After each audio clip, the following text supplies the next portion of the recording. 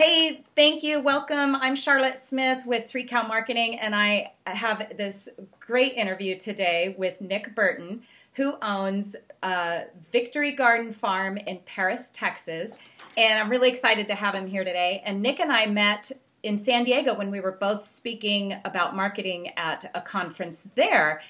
And so once I found out what he does, it's so different than many of you farmers here uh, in the, that I get to network with that I thought it would be really interesting. He has a lot of really great ideas and things that we can all learn from. So, hey, Nick, welcome. Thank you for being here today, taking the time, and tell us who you are and where we can find you online. I know I can find you in, in multiple places, but like maybe the two or three main places we can find you online. Sure. Well, thanks for having me. It's, it's, a, it's a, pleasure. It's, it's been fun working with you over the last few months. Um, on Facebook, if you want to look at the farm and see the actual day-to-day activities that we post up, it's Paris Victory Gardens, and uh, it's it looks like a little salad bowl. That that'll be the icon you're looking for. Uh, we're on Instagram on stateofthesoil.com. That's not really where I do my farming stuff. That's just more the Nick Burton within the agricultural community uh, deal. And then on Twitter, I'm on VG, VG Lunch. And then I also have another website uh, called stateofthesoil.com. Cool, great. So, can you tell briefly, like your elevator speech, what is Victory Garden? And it's the it's also Victory Lunch Club. What what is Correct. that? So Victory Lunch Club is Victory Garden's product. We, we only do two products. We go to the market with added value products, and then we, we have Victory Lunch Club. And the way all this works is we're a protected culture farm only, which means we're in greenhouses, we're in an indoor grow room, and then we're in a high tunnel. And difference, quick difference between a high tunnel and a greenhouse uh, greenhouse, I have more env- environmental controls. Uh, it's a little bit more insulated. Where the high tunnel is just like a hoop house. It's got a single layer, and it's more for seasonal crops. And we use that to grow in ground. So we're doing carrots, um, some tomatoes, uh, a lot of herbs are in there. That, that's that's where the main ingredients for the herbs comes from. And in the greenhouse, I only do uh, tomatoes and then basil, basil on the side. In the indoor grow room, I grow uh, with NFT hydroponic channels where we grow leafy greens, uh, specialty herbs, and then I, I, have a test area for a new product that'll be coming out the first of the year. We take all of that, harvest it, and I try to use as many other local farmers as I can, and I also have to get uh, service from a food delivery truck um, as far as like like we're using an outside source for some of these ingredients because what we really are is a scratch kitchen. So we grow everything from seed. Uh, my general rule of thumb is I don't put anything out unless it's 80% grown on my farm. So the other 20% I'm really, really selective on. And we have a commercial kitchen on site. Victory Lunch Club sells salads, like five star artisan salads, every single week. We rarely, rarely repeat the recipe. I mean, I, I think after almost two years, we want to repeat it like five recipes a couple of times, and we put out a different lunch every single week based off uh, raw vegetables and and some meats, some protein packs. Uh, we can get into the add-on stuff and how that works and how we expand it later on, but uh, it, it's just basically a scratch kitchen. We just happen to grow most of what we put out. And then for the farmers market, we're doing hummus, uh, pesto, um, tomato sauce. We, we make our own tomato sauce from scratch, and we're doing one pot meals and stuffed bell peppers and uh, wraps and things like that. Okay. So I, you can't buy just a vegetable for me. How about that? Well, I was gonna. So that was my other question: is when you because I never heard your story how you started out. Did you ever want to sell vegetables, or did you go into this knowing that you wanted to sell prepackaged salads? I completely fell into farming by just this the oddest mistake. It wasn't it wasn't a mistake. We uh, I have a property maintenance company that that is still in operation, and I always I knew I couldn't do that forever physically, and so my goal was to have a nursery. I was like that environment. Uh, the, the nursery season here is only for a couple of months, and I thought, well, we'll just you know we'll focus on the vegetable gardeners in the area because that's what the other nurseries were not doing. Uh, it was also a good way to supply my property management company with ornamentals. So we got we started buying wholesale and things like that. So it, it was a good funnel for my other company, and uh, because everybody associated me with lawn and garden care anyway, the nursery was an easy transition. So as we were as we were doing the build out for the nursery, as a novelty to to the retail establishment, just as a little side piece, I ordered a 48 hole hydroponic system just to have in the corner, just to play with and, and mess around. Um, but the other thing was we, we took care of so many um, restaurants in our lawn care that I knew all these restaurant owners. Oh, and you can see very easily how the conversation was going to get steered with, hey, what if we could grow vegetables? Uh, within two weeks of ordering a hydroponic table, we went from 48 holes of production to 600 holes. And two weeks after that, we went from 600 holes to about 1,800 holes of production.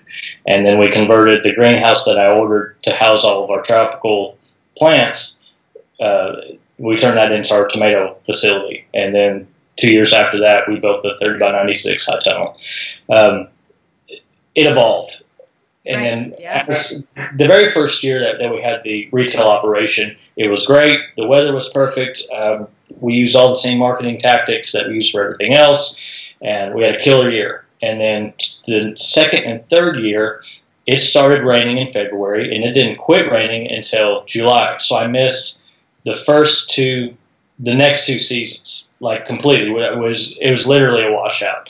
So I lost about three hundred sixty thousand dollars within those two years, staffing, you know, all this inventory, and then having to get rid of inventory. I mean, it was just a mess. And the only thing that was working was we were selling uh, produce the first year. So people already kind of knew that, that we had that. We were selling to some of the restaurants at a, at a wholesale level.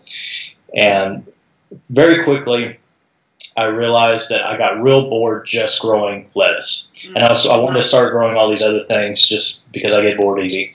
And growing those other things, and one thing you have to understand is I love food and I'm, I cook a lot, like a lot, a lot, and always experimenting. And that led to, we started making these little salad packs.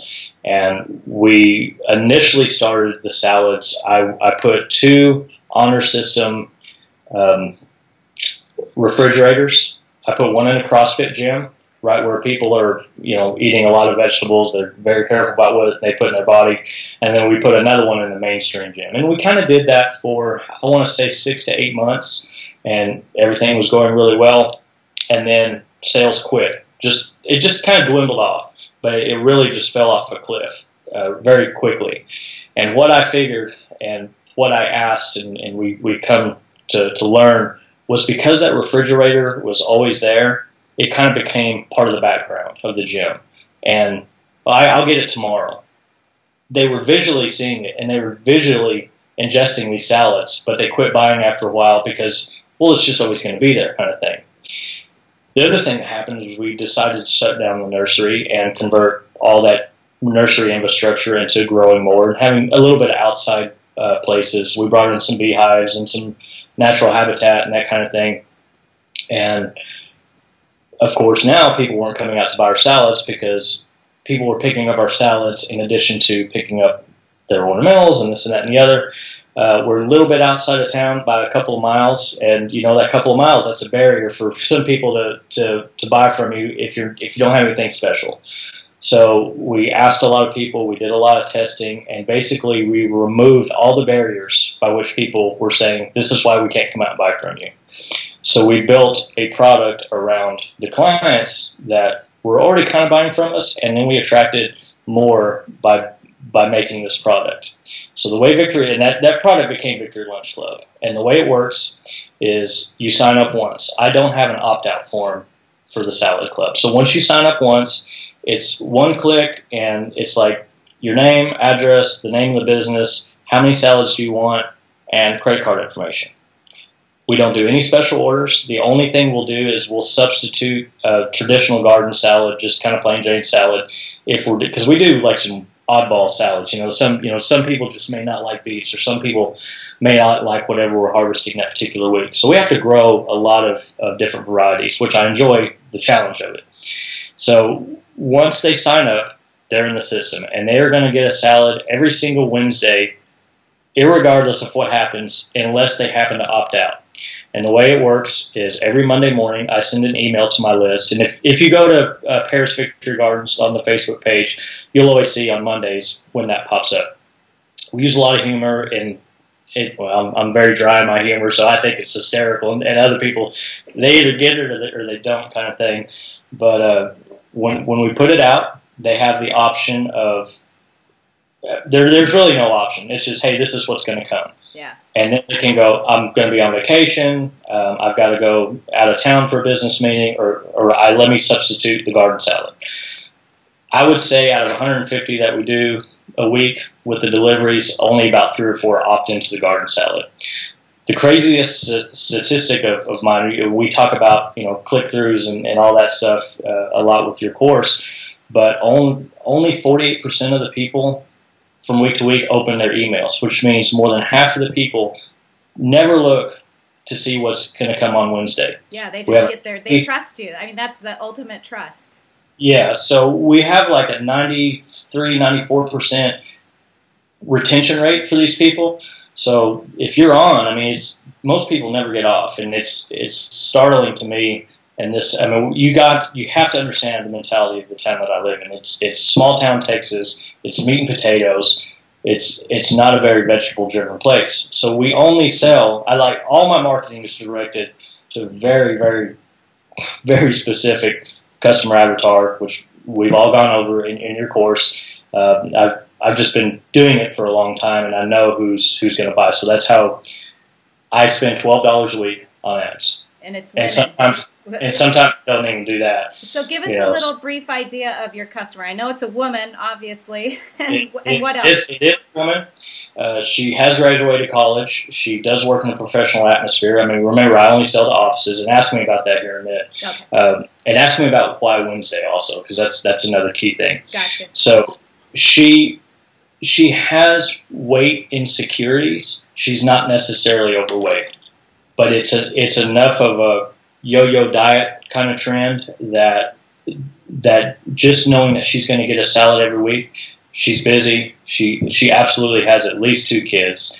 Um, her husband works outside of the house. I mean, it's these are busy people with a little bit of discretionary income that know the value of eating correctly, but don't necessarily. They will tell you that they want to eat local, but at the end of the day, it has to taste great. So we, there's there's some things that, that I have to do, which I for about eight months we never put ranch dressing on anything. And I just I couldn't do it. I just I, I don't.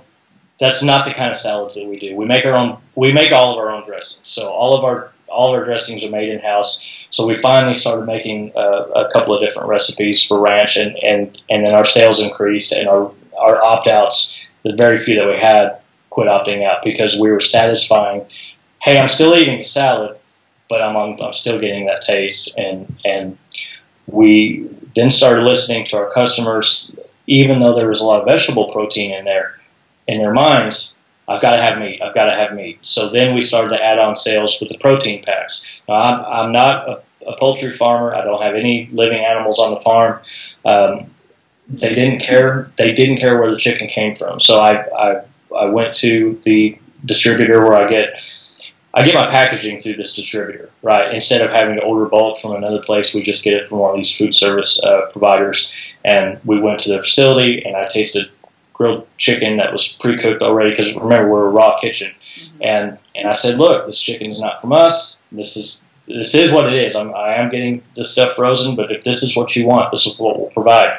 Nobody cared. Yeah. But we we knew to ask and to at least give them the option because if we didn't provide it, that's what they were going to do anyway. So we might as well be the one to to buy it and sell it and continue that tradition of convenience. I really don't sell salads. I don't sell produce. I sell the convenience and the taste of the whole thing. Uh, they don't have to worry about prepping their meals. Um, I, I see trends throughout the year, right? I mean, January we get we. This is the neat thing about our signups. So our biggest spike comes in January but it's not at the first of the year. It's usually around February 1st. It's at the end. And the reason is they have all the intentions in the world of going into January and they're going to eat healthy and they're going to do better. And then by week three, this sucks. I hate having to go to the store and prep my meals. And by Wednesday, I'm tired of eating whatever I, I made all day Sunday. And this just this is hard. I don't want to do it anymore because they're busy people. Right. So we we get all these sign-ups in February, and, and we we now know, given the three year the two year history of this, fixing to go to three years, we know when these spikes are going to occur. We know that around um, the end of August, when school starts back up, we're going to get a spike when the teachers come. We know in June we're going to get a decrease because the teachers aren't working anymore. And again, we only sell the offices. So it's an up and down thing. But when the teachers go back to school, our farmers market starts up. So it's you know it's it's great. It's a perfect transition. Yeah. Um, so one thing I want to point out is how amazing what you just described is you have listened listened 100% to what your customer wants. And everything you do is geared towards her period. It's none of what Nick wants to slip in there to, you know, I want him to like this. You I mean, would you agree that you, it's oh, yeah. completely and, customer driven? And, and see, I'm the deal with my food is I'm I'm as concerned with it being aesthetically pleasing as it is fresh and paired correctly. I, I, I, want it to taste great, but what's more important to me is, is that the dressing pairs and matches the salad. So, them getting these experiences that you can't get anywhere in Paris. And a lot of these people, they haven't gone to a four or five star restaurant. I mean, these, these people have lived their entire lives without treating themselves to the the event of going to a, a great restaurant. Yeah. And that's something I really like to do. So I know how rewarding that is to yeah. go have that. So I try to deliver that type of experience to the to the desk every single week. Yeah, well, um, it sounds fantastic. It, so it is a little bit what I want to do, but knowing why they're sticking with us and knowing what they want really really helps. And then, like you said, that trust factor. They never they never question whether it's going to be great or not. And some weeks we go way off the rails. I mean, we'll put some we'll put some crazy stuff out there just to kind of.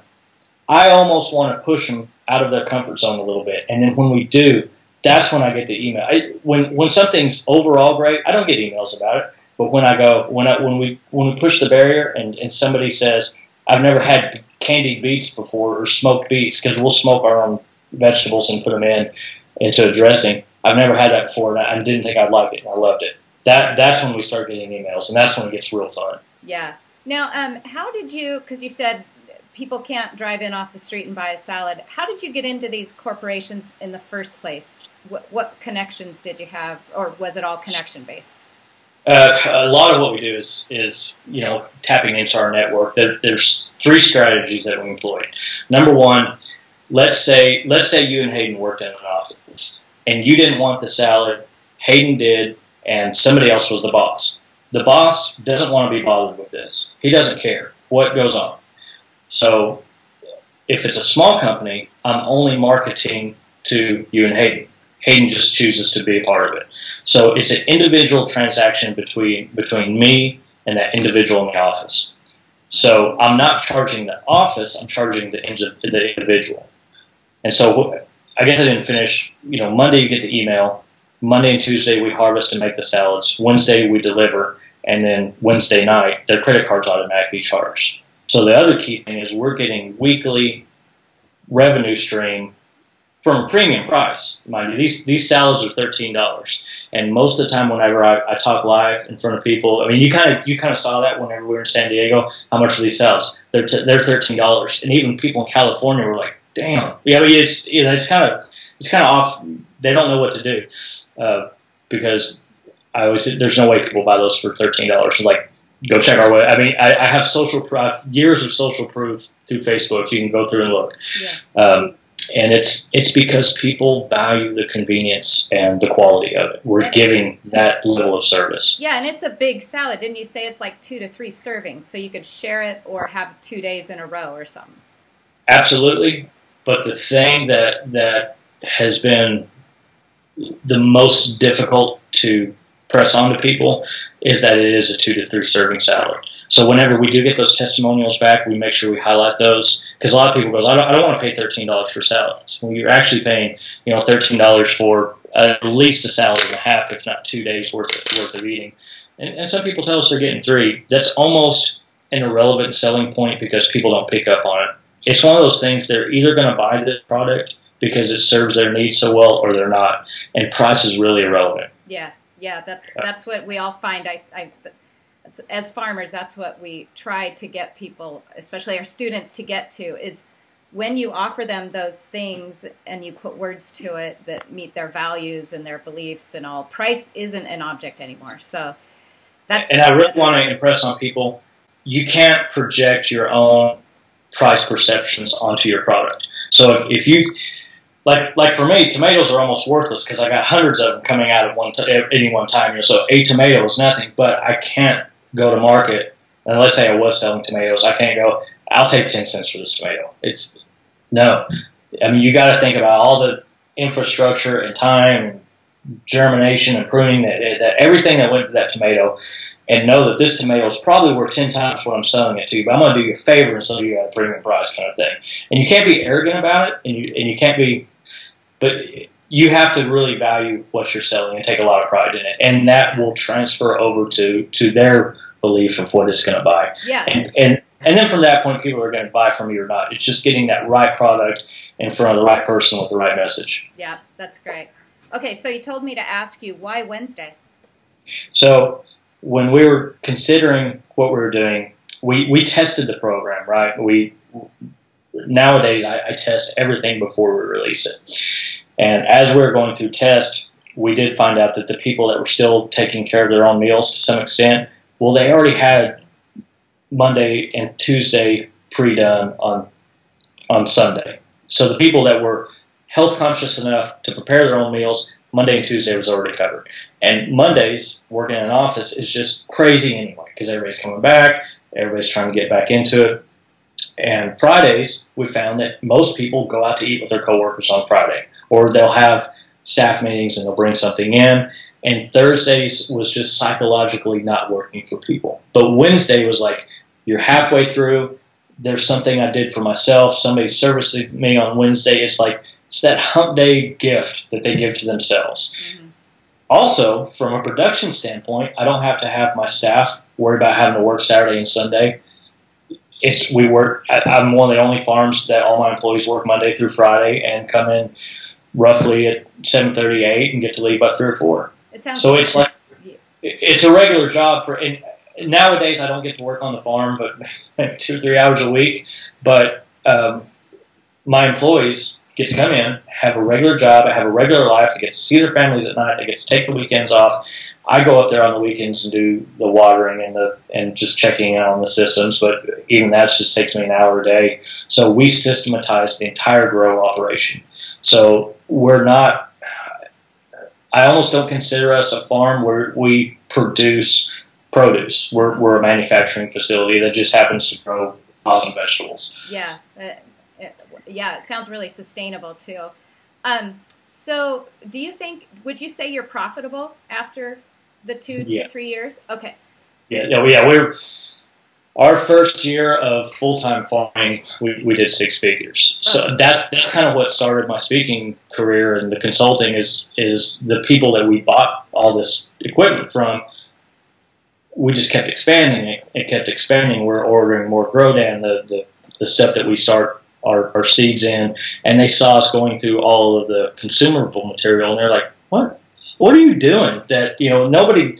goes through this much stuff their first year, and I told them what they were doing or what I was doing, and, and they asked me to speak once, and then that kind of turned into yeah. a whole nother fifth or sixth career, however many I'm on. I know, yeah. Well, you're that multi passionate entrepreneur doing all kinds yeah. of things. Um, so your your business model would you would you ever expand to have these? I mean, I know you're doing consulting now. Would you ever expand to have salads in you know 50 states? Or are you happy with what you're doing right now 150 salads a week? Or do you see that growing? Or is it just a nice little what it is for you right now? I've been here's the deal. I've been approached multiple times by people that wanted to franchise this. Uh, we went down that rabbit hole pretty far. Um, whenever you like, our profit margins are pretty pretty good. I mean, selling what if you're growing your own stuff and you're preparing it in house and selling it at a premium price, your profit margins are going to be there. So as we were attracting investors, I just I was not comfortable. It it takes somebody that's passionate about food. It takes somebody that can grow these things, and it takes somebody that almost has a year-round facility like mine that's you know protected environment, inside grow rooms, that kind of thing. Um, I mean, most people north of here, I mean, would have a really hard time doing that kind of production. So it takes a really nichey person to pull something like this off. Other people could definitely do added value, and I see it all the time, and that's that's mainly what I work with people on. But I was the other thing, the big turnoff for me was if we were to franchise this out, and if we were to build these, we would have to we would have to go into communities and hire non-farmers. That didn't appeal to me. I wanted I, I want to help farmers. I don't want to help people have a job. That doesn't that doesn't excite me. Uh, the other thing that doesn't excite me is well, we'll just go after farmers and, and sell them the business model. The problem I had with franchising is they would lose their farm name, and that sounds so silly to investors. I don't want to, I don't want these farmers to give up their farm name because you got to understand some of these people are third generation farmers and the farm has been Smith family farm for you know three or four generations. I, we can't take that away from them. It, and I've never found a way. I get more joy in helping farmers one to one, bringing their own version of this to market. Yeah. So okay. Speaking of that, so we have um, on my audience here, we've got like four thousand people. A lot of them grow vegetables is are there like one or two or three things you could tell them that okay if you're growing vegetables and you want to do a little bit of what you're doing right now i mean to me okay i'm not a vegetable farmer i have animals so it's different but it sounds like all right so i'm going to bring someone in i'm going to license my kitchen and i'm going to make up some salads and make a lot more profit is it that easy or it, it, it depends on it depends on the kind of person they are you know right. can they handle mentally all the stuff that that would go into running multiple lines at the same time. So uh, uh, farmers have been doing this forever. They just haven't called it added value product and they haven't charged accordingly. So the difference between us and somebody that let's say, hey, we have cucumbers left over from market.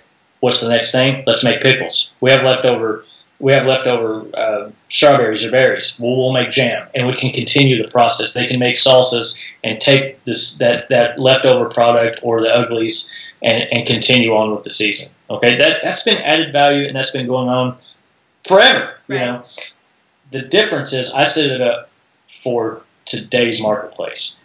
The only way to get on is to sign up online. The only way to get on is to set up a subscription service and even though I removed all the barriers, there's all these rules in place. No, we're not going to make. We're, we do not do substitutions. We don't. You know, we're not going to take cucumbers off your salad because I know that if we go to deliver it, I'm going to deliver the wrong box. I mean, it's just there's there's too many. I take all of the questions out of there. Does this person get this? Nope. Every week, boom, everybody gets the same salad. The, we can keep up with one completely different salad, like the garden salad, but a bunch of individual. I don't want croutons. Can I get extra this? It's you're getting this or you're not, right. kind of thing. Yeah. Your your card's automatically going to get charged. I don't have to go chase the money. I don't have to send out bills and stamps and invoices and keep up with who's paid and who's not paid. Either the credit card runs or it doesn't. If the credit card doesn't run, they get a very nice click and paste email. Hey, you need to update your card. Most we we don't have troubles with it and if they don't update the card after a couple weeks, we'll cut them off. I mean, it's we're not out anything. You it's know not I mean? worth twelve bucks to keep emailing them. but yeah, but but here's the other thing: the people that we target, their credit cards don't bounce. Right.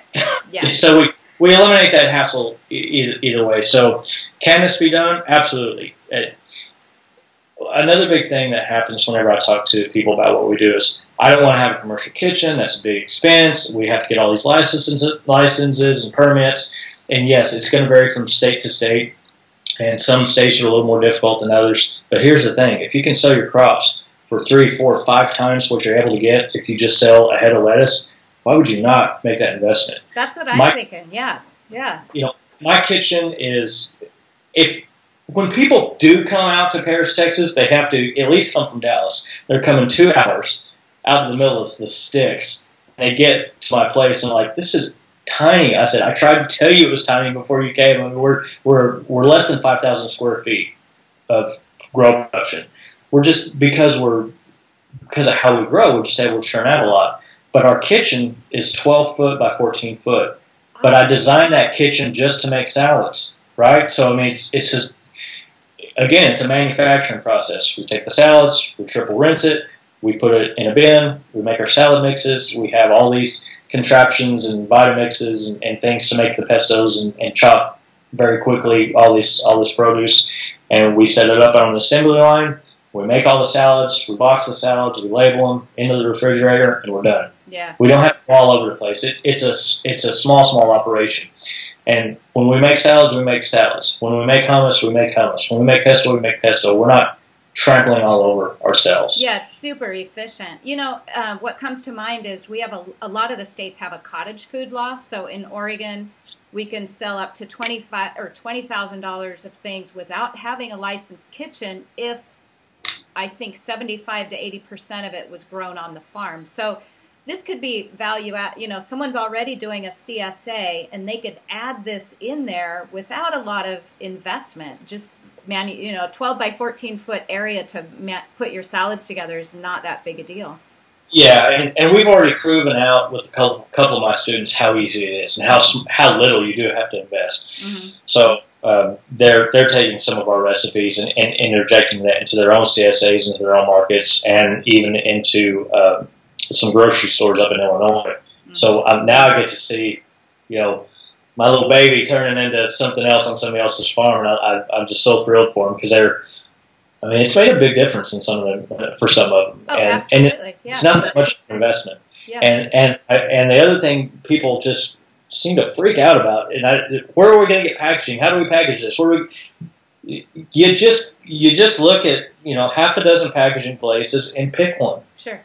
yeah. Yep. It just you make a decision. You know, it's it's people get so hung up on the little details Yeah. that the my clients could care less what this stuff is packaged in. My my only concern is do they fit efficiency efficiently within our coolers and are they strong enough to survive transport? Yeah. You know, And how do you deliver them? Do you have to rent a refrigerated car? Or you just do it in in coolers in your own vehicle? Nothing special there.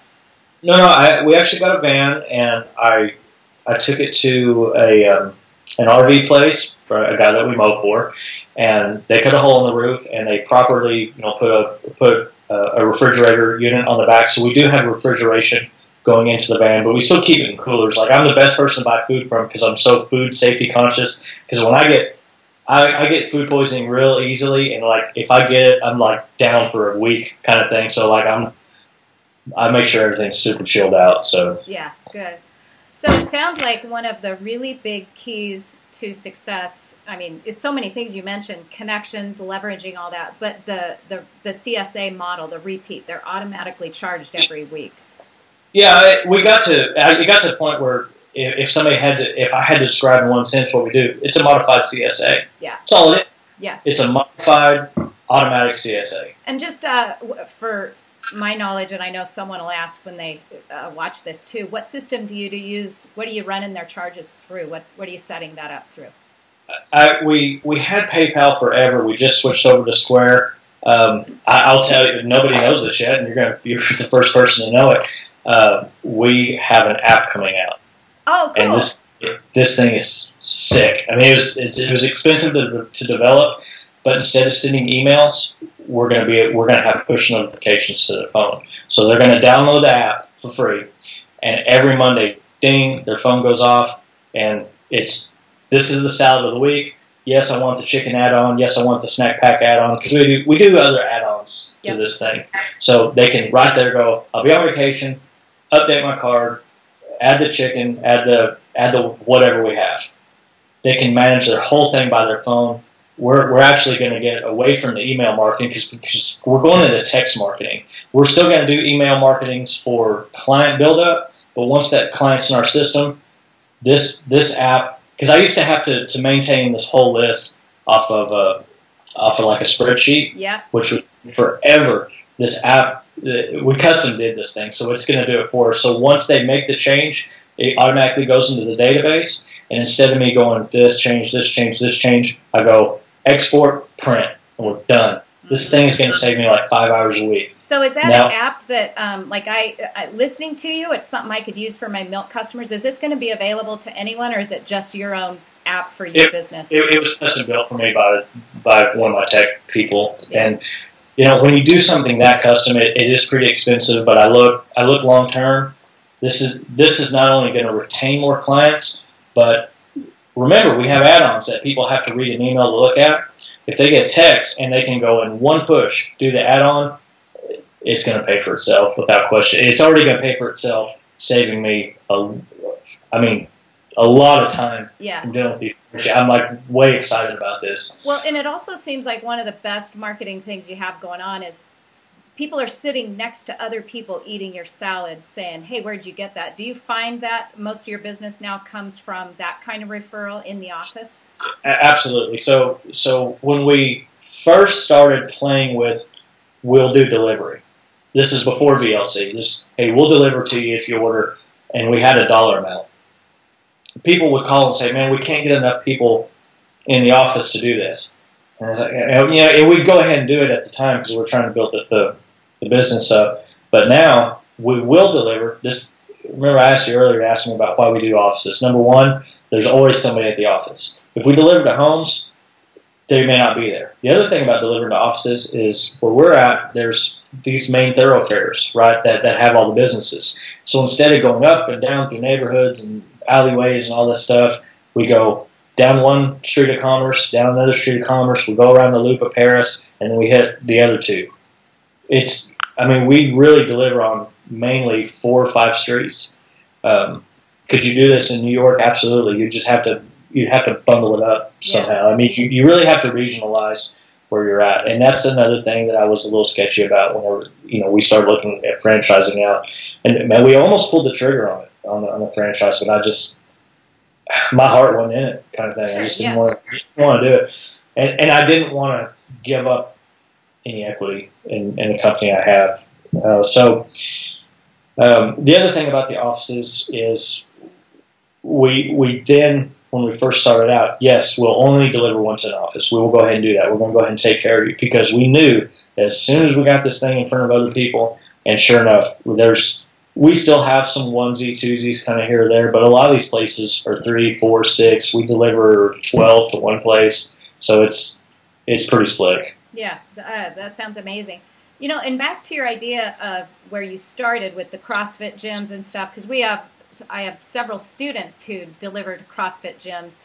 Maybe you could do that, but just make it more um, scarce. You know, build scarcity into it. Like have your fridge at the CrossFit gym. I mean, could you see that maybe like every So every or yeah, go ahead. So, so we try to make that a part of our delivery route and only deliver on Wednesdays. But it was, it, it just, it still got to be not worth it. Yeah, I mean, for it just, because VLC took off, servicing these two other things that really wasn't generating enough, because we, a lot of those people just moved away from the gym and were buying it through VLC anyway oh, gotcha. uh, two other real interesting points. Uh, one of the things we didn't talk about is how we got into some of the bigger places. So I, I realized that we were going to have to sell management. Okay, so we have a we have a lot of uh, secured places like manufacturing plants around here, and you have to go through security and this, that, and the other. And it was it, was, it wasn't going to be worth that level of stop for one or two people. Mhm. So most of these larger companies have a wellness director. So we would contact the wellness director, usually find somebody within the company, hey, can you give us a warm introduction? We got the warm introduction, we had the meeting. It's like, look, here's what we're going to provide for your employees. They're not going to be leaving for lunch.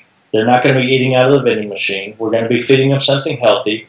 You're never going to have to worry about us billing or any trouble whatsoever. All we need is access to the break room. So we we explain to you know these directors and the bosses and the managers how much better it was going to be for them if their employees are going to be eating better.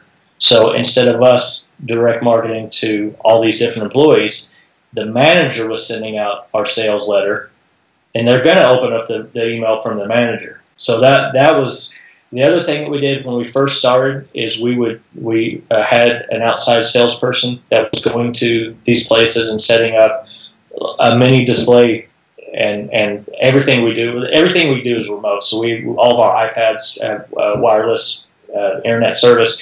We're taking iPads and we'd have a sign up special at these places. So boom, boom, boom, and we got it. So that that was a very um, that was a good way to get a lot of people all at one shot only emailing to one person. You may email one person and she's sending one email on your behalf, and the management is supporting it. I mean, that was yeah, that had to been a, a, good open rate right there, kind of thing. Yeah, that's fantastic. All that you're doing to leverage your connections and getting out there and meeting with people, which you're a great people person. So I'm, you know, it comes easier for you than a lot of farmers, I would suspect, or I know because I hear from yeah. them. So yeah, oh, yeah, for sure. Yeah. For sure. Okay, well, it, look, that's a learned trait. I mean, it, the more you do it, the easier it is. Exactly. That's what I tell them.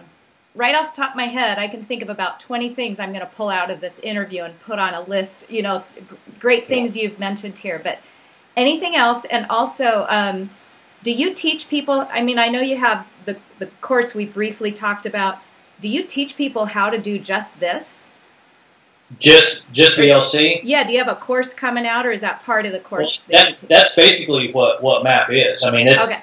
how how we did this is is is step by step is, how we did it. Now, if they choose to do a salad subscription, that's that's up to them. That's their choice. Or if they choose to sell honey in a gift basket, that's their choice. You know, kind of thing. So we, you know, I, like I said, we, what I just told to everybody they could go attempt it, but MAP makes all those connections really great. And MAP is the course you teach. Yeah, okay. minimum. It's minimum agricultural product. Perfect. Okay, awesome. Okay, well, this has been really fantastic. I've I've learned a lot, and and I see so many opportunities for just like you said, not just salads, but how can we take just half of what you mentioned in here and utilize that on our farms we already got going on. So. Uh, it's in, look, it's it's the right product for the right person with the right message, yep. and that's that's any agricultural product. Yep. Milk, dairy, poultry, yeah, all, all the stuff that, that your group is kind of uh, more centric towards. But it, it could be beekeepers, it could be cut flower producers. I mean, it, it, could be shoes, it could be anything. You know, yeah. it's it's it, if it works, it works. Yeah, yeah. No, this is fantastic. Well, I want to thank you for being here. You have such a generous heart. Every time I talk to you, you're like you'll you'll share everything, and I appreciate that because that's uh, that's the only attitude to have. you know, it helps everybody, yeah. and it helps you. It helps all of us in the end when you help other people. So, thanks for sharing oh. all this yeah, fantastic information. Um, so uh, I'll I'll let everyone know how to look you up if they want to also. But thank you for everything today. I appreciate it. And this was Nick Burton and the with the Victory Lunch Club and Victory Gardens Farm. And uh, your contact info will be in there too. So thank you, Nick. Thank you. Have a good day. You too.